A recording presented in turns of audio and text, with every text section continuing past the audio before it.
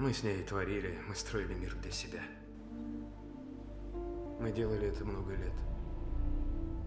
Мы создали свой мир. Сколько вы там пробыли? Почти 50 лет. Боже.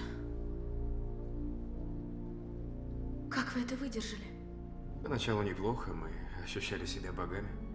Проблема в том, что мы знали, что все это нереально. В конце концов, мне стала просто невыносима такая жизнь. А каково было ей? Она кое-что скрыла где-то в глубине себя. Правду, которую знала когда-то, но предпочла забыть. Лим стал ее реальностью. Что случилось, когда вы проснулись? Проснуться после стольких лет, десятилетий. Превратиться в стариков, снова обретших молодость. Я знал, что с ней что-то не так, но она не признавалась.